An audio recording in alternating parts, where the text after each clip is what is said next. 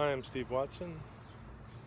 I feel like I'm getting to the point where I'm representing a clear heart, soft heart, loving self, a whole human being.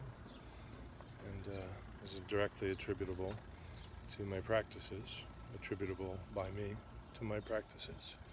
Meditation, Tai Chi, Kung Fu, and the like.